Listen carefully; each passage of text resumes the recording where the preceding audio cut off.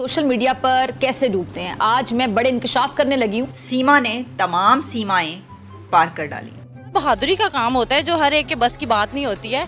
ना उसको किसी ने सिखाया था ना उसके अंदर ये चीज़ थी। मगर इस खबर के अंदर छुपी हुई घिनौनी साजिश क्या है वो मैं आप लोगों के सामने रख दूँगी। वो तो है ही सर शुरू से ही है। शुरू से अब ज़्यादा बढ़ गया कि पहले जितने जितने साथ रह रहे हैं उतना ही ज़्यादा अच्छे होते हैं। भारत वाले समझ लो, ये जो है ना, हिंदू हैं, बडानी के, कश्मीर के या कंदकोट के हिंदू हैं, वो समझ लो, ये जो लड़की है, वापस करो।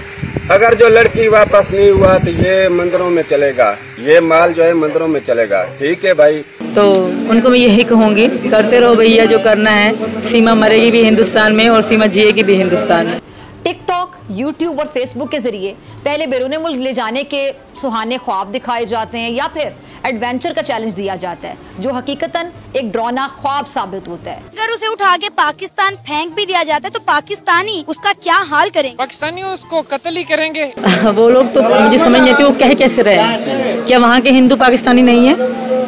जब यहाँ के मुसलमान हिंदुस्तानी है तो वहाँ के हिंदू क्या पाकिस्तानी नहीं है? अब इस तरह ये सिलसिला चलता रहता है जिसको हम कहेंगे गेम। मैं ये बोलूँगी कि वो खुश है ना तो मुझे नहीं लगता कि हाँ। किसी को कुछ भी कंसर्न होना चाहिए कि भाई वो कैसे आई क्यों आई। जो कि बुरी बात यह है कि वो गोश्त नहीं खाते। और अच्छी बात उनकी है कि उनका अपने भगवान पे बहुत अच्छा पक्का कीदा सोशल मीडिया पर कहने की जो खेल है ये धड़ल्ले से जारी है। मेरा इश्क है वो। मुझे प्यार है उससे। मैं पकड़ी भी जाती ना तो मुझे ये दुख ना होता कि मैं, मैंने कोशिश ना करी। वरना सारी ज़िंदगी पछताती कि मैंने कोशिश ही ना करी सचिन के पास जाने की। काश मैं कोशिश करती। मैंने कोशिश करी और कामयाब हुई। नमस्कार दोस्तों, जय हिंद, जय श्री राम तो भाइयों, सीमा हैदर के भाई का दूसरा वीडियो आ चुका है, जिसमें वो सीमा के बारे में गंदी गंदी बात कर रहा है, पेलने और पिलवाने की बात कर रहा है। एक बहन का भाई का रिश्ता, बहुत प्यारा रिश्ता होता है। बहन भाई को कलाई पर राखी बांधती है, हमेशा सुरक्षा की वादा करता है भाई, कि मैं बहन आपकी सुरक्षा में हमेशा तत्पर रहूँगा, खड़ा रहूँगा। मगर भाइयों, ये कैसा भाई है जो अपनी बहन के बारे में गंदी गंदी बातें कर रहा है और भारत को साथ ही साथ में गाली दे रहा है। और भाइयों, इस वीडियो पर पठान भाई ने भी रिएक्ट किया है और सीमा के भाई को इस तरीके से रेला है कि आप भी बोलोगे, मज़ा आया। तो चलिए दोस्तों, वीडियो बड़ी इंटरेस्टिंग है तो वीडियो के आनंद लेते हैं। तुम मेरा हाथ तो पकड़ो मुर्शद मैं साबित करूँगी। हर कोई छोड़ के नहीं जाता। तुम इनका सामान तो पकड़ो। मलेरिया के मच्छर ये साबित कर देगी कि ये एक वक्त में पचास किलो दूध और एक साल में दर्जन बच्चे पैदा करेगी। यार, जब तक ये खराम खोर सोशल मीडिया पर मेरे नज़रों के सामने आती रहेगी ना तो मैं इसकी बजाता रहूँगा इस वजह से नहीं कि ये इंडिया चली गई। इस वजह से कि इन्होंने मैं हमारे पाकिस्तान का नाम बदनाम कर दिया और पाकिस्तान को भी छोड़ो। इन्होंने मतलब हिंदुस्तान जाकर लोगों को ये बताया कि वहाँ पाकिस्तान में हिंदुओं पर बहुत जुल्म हो रहा है।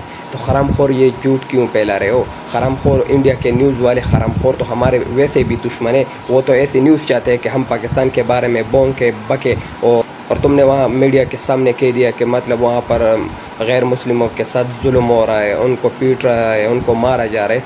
इस बात पर मुझे गुस्सा है। और जब तक तुम मेरी नज़रों के सामने आती रहोगी ना तो मैं तेरा ये मारता रहूँगा। तो भाई लोग बोल रहे थे कि सीमा हैदर का भाई आर्मी में है। कोई बोल रहा था जनरल है, कोई बोल रहा था कर्नल है, कोई बोल रहा था हवलदार है। भाई, ये बंदा तो ऐसा लग रहा है जो समंदर किनारे इस बंदे की शक्ल ऐसी है जो समंदर किनारे वो प्यार वाले लॉकेट नहीं सेल करता जैसे दिल बना होता है, उसके अंदर दो तस्वीरें होती है, या ब्रेसलेट वगैरह, जो समंदर किनारे जो सामान एक छोटी सी टोकरी में लेके जो, ये बंदे की इसको मैंने किसी देश में देखा है समंदर के किनारे, कुछ तो बेच रहा था, ये अभी याद नहीं आ रहा कि भुट्टे बेच रहा था पानी पूरी बेच रहा था, या फिर ये लॉकेट बेच रहा था। मकसद मेरा ये नहीं है कि पानी पूरी लॉकेट भेजना बुरी बात है। मकसद ये कि लोग बोल रहे थे, ये तो आर्मी में है। ये तो बहन का टक्का शक्ल से कुछ और ही लग रहा है।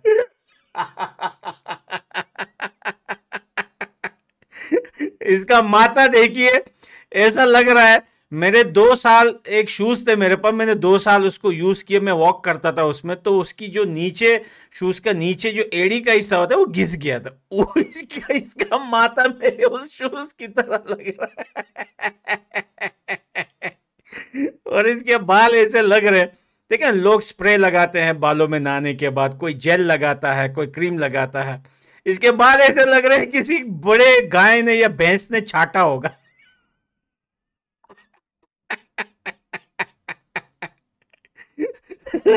ये अपने बाल ना गाय से चटवा कर खड़े करता है।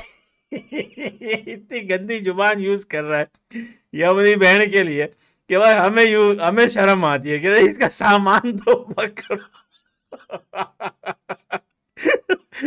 और ये सचिन पे हर आए रोज एक एक नाम रखता है, कभी मलेरिया का मच्छर बोल रहा है उसको तो कभी कछुए का जुकाम बोल रहा है उसको। बड़ा आरामी है ये। दोस्तों कमेंट ये ज़रूर देखेगा, क्योंकि ये वीडियो इसने खुद मुझे भेजी है। तो ये बड़ा आरामी बंदा भी है, बड़ा फनी बंदा भी है। तो कमेंट में इसके लिए एक एक शब्द ज़रूर लिखना, ये ज़रूर पड़ेगा हो सकता है आपको रिप्लाई भी मिल जाए इसका। चाहे भारत हो, चाहे पाकिस्तान हो, चाहे दुनिया हो, सभी अभी सीमा हैदर की बात कर रहे हैं। सीमा हैदर एक तरीके से फ़ेमस हो गई है, चाहे यूट्यूब हो फेसबुक हो इंस्टाग्राम हो न्यूज़ चैनल हूँ सीमा हैदर की बात की जा रही है। यही बात दोस्तों सीमा हैदर के भाई को पसंद नहीं आ रही है। सीमा भाई हैदर का भाई इतना बेवकूफ़ है इतना गदा है इतना मूर्ख है उसके बुद्धि में इतना गोबर भरा है कि अपनी बहन को सगी बहन को गालियाँ दे रहा है गंदी गंदी बातें कर रहा है। दोस्तों हमारे यहाँ पर हाँ, जो भाई होता है वो बहन की सुरक्षा के लिए होता है बहन को कितना मान और सम्मान देता है। मगर दोस्तों ये कैसे ऐसा भाई है जो अपनी बहन के बारे में इतनी घटिया, इतनी गंदी बातें कर रहा है। ये सिर्फ़ सिर्फ़ पाकिस्तानी में ऐसा हो सकता है। पाकिस्तान के अंदर ऐसे भाई मिल सकते हैं। दोस्तों, तभी तो पाकिस्तान की लड़कियाँ भारत के लड़कों से इम्प्रेस हो रही हैं, भारत के लड़कों पे मर रही हैं, भारत के लड़कों के लिए अपनी जान भी देने के लिए तैयार हो गई हैं, जिसका एग्ज़ाम्पल है सीमा। सीमा एक ऐसी लड़की है जिसने अपना प्यार को चुना, भारत को चुना और भारत में उसे पता है कि कितनी ज़्यादा इज़्ज़त मिलती है लड़कियों को। लड़कियों को भारत में एक लक्ष्मी माना जाता है। जो औरत होती है, घर की उसकी सभी बात मानी जाती है। कहीं ना कहीं सीमा को ये पता चल गया था। उसे रहकर उसके ऊपर जो जुल्म हो रहे थे पाकिस्तान के अंदर, उसे पता था, अगर पाकिस्तान में रहूँगी तो पैरों की जूती रहूँगी और जब मैं भारत में जाऊँगी तो लक्ष्मी की तरह पूजी जाऊँगी। तो उम्मीद करते हैं दोस्तों आपको ये वीडियो पसंद आया होगा। अगर वीडियो पसंद आया है प्लीज़ वीडियो को लाइक करें चैनल को सब्सक्राइब करें। और आपके क्या ओपिनियन है इस वीडियो के बारे में, आपके क्या विचार हैं कमेंट सेक्शन में, लेकिन ना भूलें। तो चलिए मैं मिलता हूँ आपसे नेक्स्ट वीडियो में नेक्स्ट टॉपिक के साथ में। तब तक के लिए मुझे दीजिए इजाज़त। राम राम जी।